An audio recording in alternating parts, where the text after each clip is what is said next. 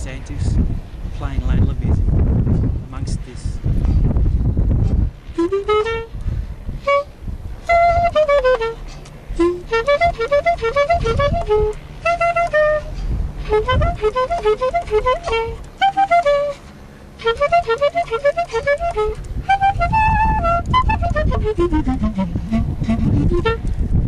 can take your clarinet anywhere